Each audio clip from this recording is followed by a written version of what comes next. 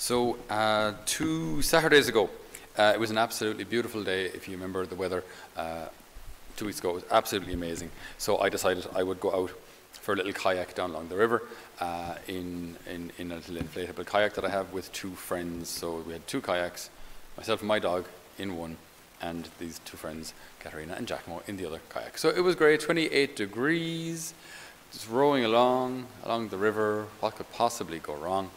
And so we got to our destination, the next town down the river, and a friend came and picked us up. And that was all grand. Stopped off for ice cream, all good. Came home, came back here, and realized, my goodness, there was quite the heat emanating off my legs. I could feel it like I'm one foot away. I could hold my hand over my leg and just feel this heat radiating up. And then I was I had to do some work with someone uh, for the faith camps. We were looking at videos, and I could just feel my eyes kind of dropping. And then I was beginning to feel somewhat nauseous, and my hands went ice cold, my feet went ice cold, and my jaw started to kind of chatter. I said, Wow, I think I have heat stroke. So I went for a wee nap for myself and then began a retreat the following. Two, two days later, we, uh, we, had a retreat, and um, I could hardly bend my knees, just legs were on fire. All is good now, don't worry. Apparently, um, when Giacomo, the guy uh, I was going kayaking with, when he said, uh, Father Patrick, do you have the sunscreen? I said, sunscreen is for losers. Uh, that's what he said. He said I said that. I don't think I said that, but it's possible. Anyway, point being, point being, uh, it was interesting to see that during the whole three hours of exposure, uh, uh, nothing felt anyway untoward whatsoever. Nice gentle breeze off the fresh water and it was all good. So you're rowing along, and there's actually something, something going wrong, but you can't see it. But eventually you do. Okay? Now, this is a very interesting kind of a thing in, in, in our spiritual lives as well, that not everything we do bears immediate fruit. And that works both ways, for good and for bad. So this is how, like, we might, you might look at, at, those who live a dishonest life, and everything seems to be absolutely fine. You look at the kind of you know, places where there's unfortunately an awful lot of corruption, maybe like Mexico, where 95% of the wealth is in the hands of 5% of the people. So you have these haciendas that are just absolutely enormous, uh, and these people have you know armed guards and houses and cars, helicopters, the whole lot, while people are living down in, in the, the rest of the village in absolute squalor. You know, it's just entirely unfair. And you look at this and you go, this is just unjust, this is wrong when are things going to level out?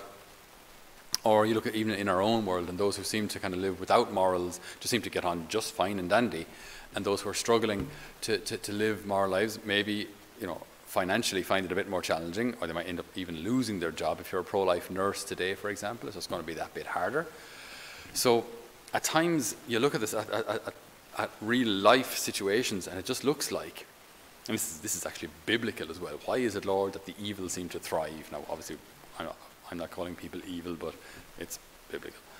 Uh, why is it that, that, that, that those who do good find it more difficult and those who don't care about your law, Lord, seem to do just fine?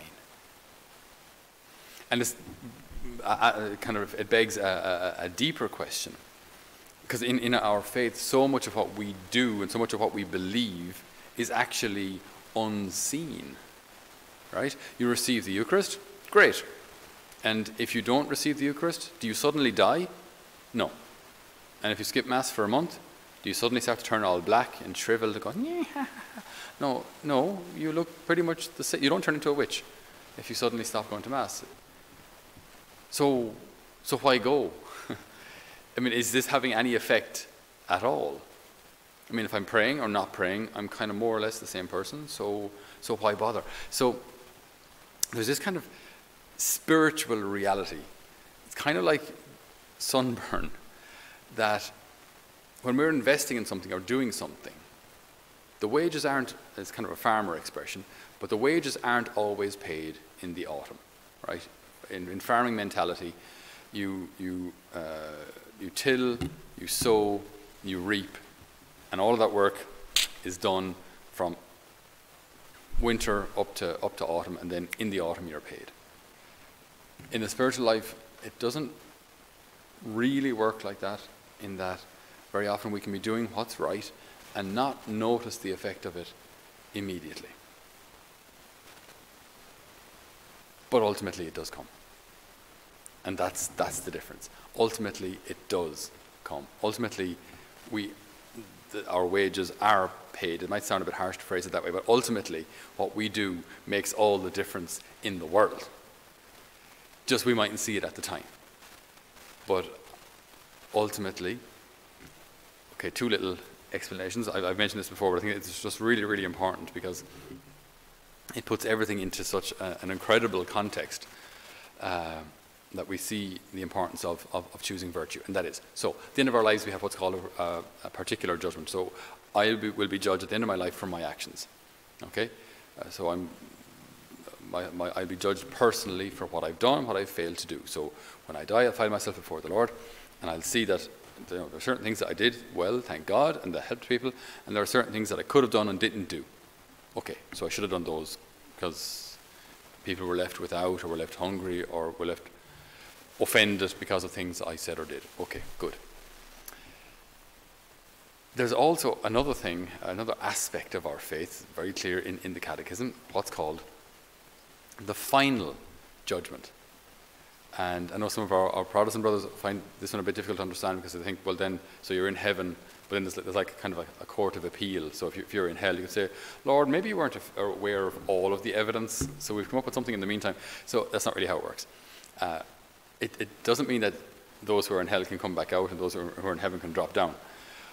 What the final judgment means is that our, our all knowing God, who knows all things outside of time, finally shows all of those things to us. So when time has ended, when like this earth, the, sun will eventually burn out, the, the, the earth will eventually start spinning out of orbit and just collapse into oblivion. So eventually the earth will history, if you will, here on earth will, will end. And at that point, we'll have what's known as the final judgment, right? Which means all of the good I do today, that can actually bear fruit in someone's life and maybe bring about someone's conversion. And then they have three children. And one of them goes off and gets married and starts a really holy family. One becomes a priest and one becomes an engineer. And they live really good lives. And that priest listens to, over the course of his career, 14,000 confessions becomes a bishop and ordains nine men, who then become priests and minister in nine different cities, each having a population of 10,000. And the engineer has an, another family, and a great grandson becomes a, a wonderful catechist in a very difficult part of Dublin and saves four people from suicide and two girls from having an abortion. Now, hang on, we'll all go back, back to the beginning. This one person lived a holy life and look at the effects it had. And they can all be traced back to this person choosing God on that day. So at the end of time, we will see the ultimate consequences of all of our choices. And again, this works both ways. As a priest, if I had the opportunity to preach the truth and I chose not to, I chose to tell people, look, you're all fine, you're all going to heaven. Because of that, 16 people don't go to confession, four of those die not in a state of grace. And I'll see the ultimate consequences of my laziness or my lukewarmness for all eternity. You know, uh, like this, because of my, I should have been preaching the truth. Instead, I chose something easier. This guy had a vocation to the priesthood. When he saw me and my lukewarm priesthood, he said, Nah, I'm not going to bother. I went off and did something else. And he was supposed to minister in this parish and he was supposed to convert that person. He was supposed to save that girl from suicide and he was supposed to help that, that person choose life. And all these things that could have and should have happened, but didn't, because I didn't preach the truth. So it's quite incredible when you think like that, that, that the effect of your actions today doesn't end with today and doesn't even end when you die. When you die, your actions or, non-actions are still having consequences. Now, our hope is that if we're sowing love and if we're sowing hope and if we're sowing like uh, uh, virtue, then the crop that we have sown continues to bear good fruit long after we're gone. You know, the people who've been affected positively, hopefully, affected by us, will continue to bear fruit and then pass that positive fruit on to the next person, onto the next person, onto the next person. The next generation, next generation. So I'm gone, I'm long gone, I'm even forgotten People mightn't even have known where their faith came from, but it came from my great granny who converted and so on. Like, all those things are forgotten, but ultimately, I'm the fruit of their faith. You know? So we don't even, we can't even trace it back ourselves, but our all knowing, all loving God knows this. So at the, the, the final judgment, I see the ultimate consequences of everything I've done or not done. So when you imagine now, kind of fast forward, or sorry, not fast forward, but kind of rewind back to today, can you now see the importance of your choices today? Like if we're tempted to uh, infidelity in marriage, uh, nobody will know, nobody will know. Do you not see that God sees, that God knows? And if your wife finds out, or if the mistress lady goes public with it, and then your, your children lose their father lose all respect for you, the consequences that'll have on their lives and then on their children's lives. And on then, like, you not see the, the, the effects of my choices today are far bigger than I could ever imagine or understand. And that works, to say, both ways.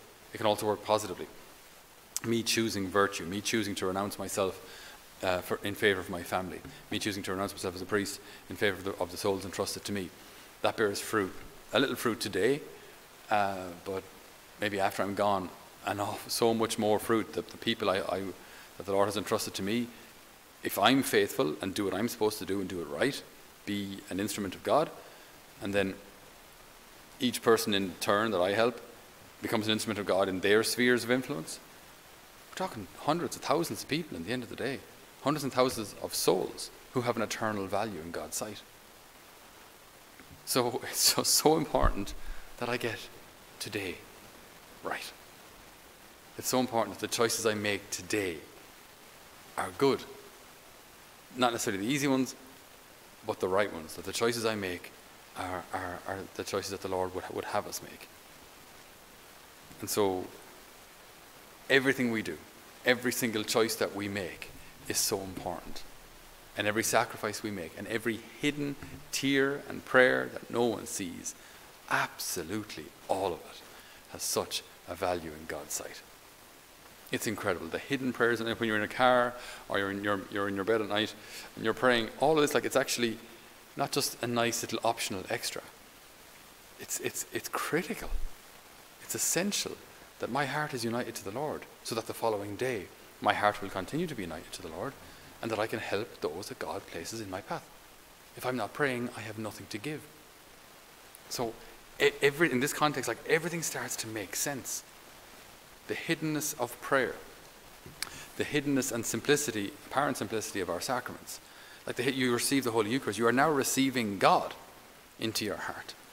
The world doesn't see it, and, and you don't look necessarily any different. But if I'm drawing from the grace of Christ within me in this Holy Communion, to love the following day or that day to, to love those who are difficult to love, to forgive those who are impossible to forgive. And I draw from that grace of the Holy Eucharist within me. And because of that, my soul is sanctified. This person is forgiven. And if they witness that forgiveness and then go on to be forgiving themselves, the consequences, the consequences for all eternity of our good actions is phenomenal. And so much of it begins in this, this hidden way this hidden unity with the Lord, this hidden secret life with the Lord. And our Father, who sees all that is done in secret, will reward us. So all we have is today. Yesterday's finished. I can't do anything about it. I can say sorry, maybe, if I got something wrong. Uh, but I can't change it. Can't undo it. Tomorrow hasn't come yet. No point worrying about it. I have today. I have now. So, what am I being called to? And if I plant today where and when and how the Lord is, is, is calling me to, the, the harvest may be born, may be reaped by someone else. Maybe some of it might be reaped by me. It's not really important. What's important is that it's reaped by someone for the greater glory of God. But it starts with, with me getting my bit right, me doing my part. That's all that matters. And then, as I say, ultimately, we will see the effects of everything we've done. And that's, uh, for me, it's just like, it's such a wake up call. Because it just means then, imagine like if you're a teacher and you belittle some students, and then that, that affects their self worth, and then you know, they go into self harm, and then they, you know, all of the horrific effects that that can have. Or again, you're, you're a parent or you're a, a, a, a priest, like the, the, the effect of, of our example is just so, so important. And so we ask the Lord today. Today's readings and gospel are, are, are about the Eucharist. Again, this, this, this, this hidden miracle, this daily miracle of the Lord truly present there. And, he, and he, he does this. He comes to us in this form, not just as a reminder of a, a sacred meal that happened a long time ago, but to be our daily nourishment, to be our daily spiritual nourishment, to be our daily bread. And we need that daily nourishment because the battle is daily, the struggle is daily. So we draw from Him. And if we do so now, that grace shining through us will help others, and that will help others, and that will help others. And then we die, we're gone, and it's still bearing fruit after we're gone. What a gift. What a gift to be able to do that. So we thank the Lord for this great miracle and privilege of working with Him in this hidden way. Some people see it, some people don't, it doesn't matter. It will bear fruit. Maybe not in the autumn, but it will bear fruit in time. So may the good Lord guide us in our mission and in our ministry, that all souls may sing with our psalmist Ring out your joy to God, our strength. Amen.